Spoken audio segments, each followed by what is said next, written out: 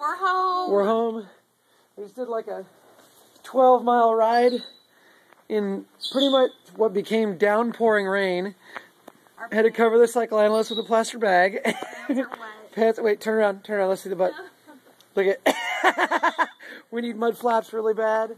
We have the wrong clothes on with But- but- windbreakers. But the baby's safe and sound, nice and toasty in her little steam room. no, look at the dirt my seat. Oh, jeez. Look at this. Okay, endless fear. So there you go. Southern California, we actually do get rain sometimes.